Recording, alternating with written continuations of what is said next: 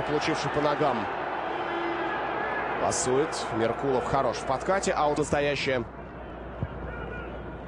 Настоящее искусство, да, это как раз и есть интуиция. Ты знаешь, как э, нужно сыграть, чтобы продолжить атаку. Теперь крылья атакуют.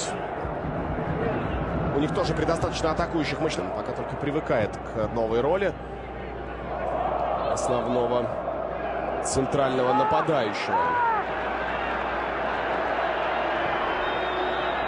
Вообще-то его всего-навсего э, попал в штангу.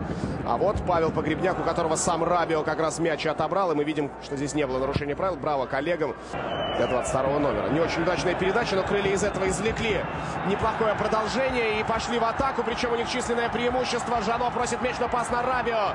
Прострел, сильный мяч попадает штангу неожиданно. Передача 60% точность у него. Так что ждем его решений. Да, действительно, освободил ближний угол. Ярослав Гадзюр, и э, это увидел Рабио, который аккуратно и почти в каждом матче чаще соперника этот мяч контролирует. Ну, а в домашних матчах и подавно.